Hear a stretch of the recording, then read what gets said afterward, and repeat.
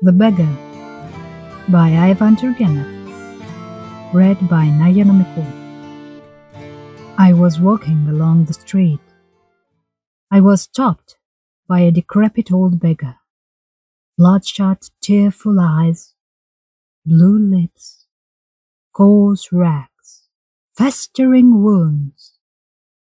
Oh, how hideously poverty had eaten into this miserable creature. He held out to me a red, swollen, filthy hand. He groaned. He mumbled of help. I began feeling in all my pockets.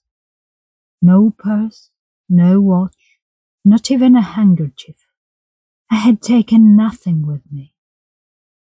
And the beggar was still waiting, and his outstretched hand feebly shook and trembled. Confused, abashed, I warmly clasped the filthy, shaking hand. Don't be angry, brother. I have nothing, brother.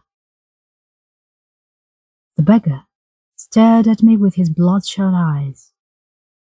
His blue lips smiled, and he, in his turn, gripped my chilly fingers. What of it, brother? He mumbled. Thanks for this, too. That is a gift, too, brother. I knew that I too had received a gift from my brother.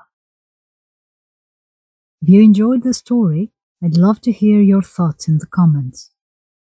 And if you'd like to stay up to date on future stories, feel free to hit that subscribe button. Thank you for watching.